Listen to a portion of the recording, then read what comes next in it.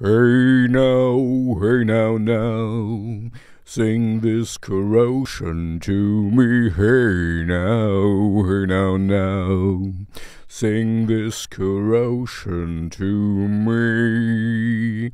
Yeah, I guess today it's a no brainer. Uh, the Sisters of Mercy, this corrosion.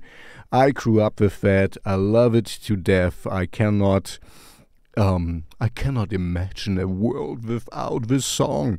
It's great. Of course, I'm very, very, very, very toe biased because, yeah, I mean, um, my formative years, this is kind of this. Uh, um, got me in this whole gothic uh, dark wave uh, thing you know also there was wolfsheim oh i should do more, uh, another wolfsheim i guess um, Anyway, I love it to death. I cannot be objective at all. This is just very, very, very good gothic rock music. I know uh, he doesn't like it if you call it gothic. Um, it's just rock music. Anyway, when it's rock music, I don't mind. It's really great one.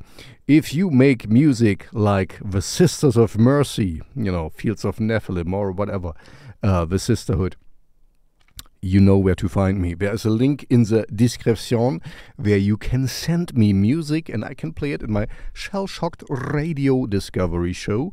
Uh, I like to hear from you if you make dark wave, industrial metal, gothic rock, or just rock music like the Sisters of Mercy, like I just said. Um, yeah, check them out. I guess, you know, for most of you, I don't have to tell you how influential and how great they are. But yeah, for the newer folks who might follow me, um, yeah, check them out. They are great. We were, yeah, I mean, timeless. Timeless classics. That's how I would call it. Um, before you leave, of course, you know, the algorithm gods, uh, we need to know that I exist. Like and subscribe, hit all the thumbs up, uh, ring all the bells, you know. Um, and I see you in the next video. And now, hey now, hey now, now, sing this corrosion to me.